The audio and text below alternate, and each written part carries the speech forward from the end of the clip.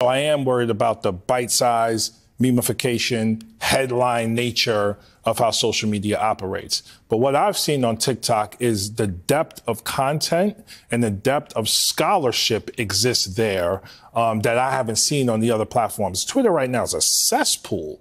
I mean, you go on there, you send out a tweet, next thing you know, you have the far right white nationalists attacking you for all kinds of nonsense and, and, and lies and disinformation, misinformation live on that platform and Facebook. Facebook also, and I've been told this, Facebook China uses Facebook to get more of our data than anywhere else by far. But we're not talking about banning Facebook. And Facebook was implicated in what Russia did in 2016. So what are we talking about?